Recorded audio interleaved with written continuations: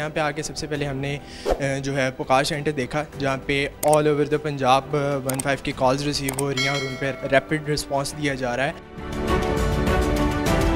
जैसे हमने safe city visit किया तो हमें पता चला वुमेन सेफ्टी के राइट्स के बारे में कि वो क्या क्या राइट्स प्रोवाइड कर रहे हैं और कितनी सिक्योर है ये। जो यूनिवर्सिटी आती हैं, अकेले ट्रैवल करती हैं तो उनके लिए बहुत अच्छी बात है कि वो वुमेन सेफ्टी ऐप को इंस्टॉल करें और उससे फ़ायदा हासिल करें।